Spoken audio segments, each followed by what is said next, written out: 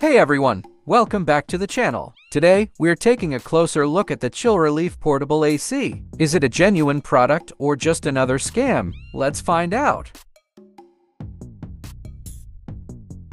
First off, what's the deal with ChillReleaf Portable AC? Does it live up to its claims? Unfortunately, we don't think so. It looks more like a miniature humidifier than an actual air conditioner. From the pictures, it seems to be just a wet sponge with a fan blowing on it. This means it's unlikely to cool your room as promised.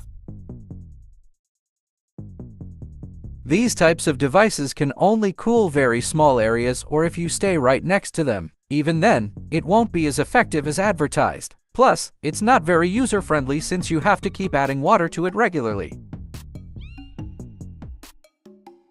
To make matters worse, using this device might actually make you feel more uncomfortable by increasing the humidity in your room. We all know that hot and humid is worse than just hot, right? So, it seems like the claims made by ChillReleaf Portable AC are exaggerated.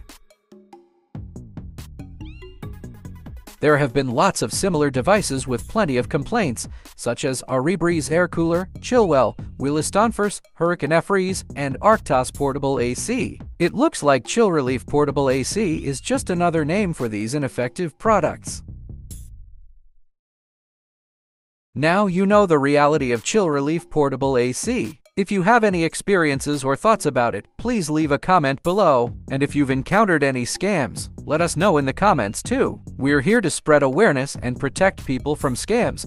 Feel free to share this video with your friends and family on social media to warn them about the ChillReleaf Portable AC. Let's work together to save innocent people from scams.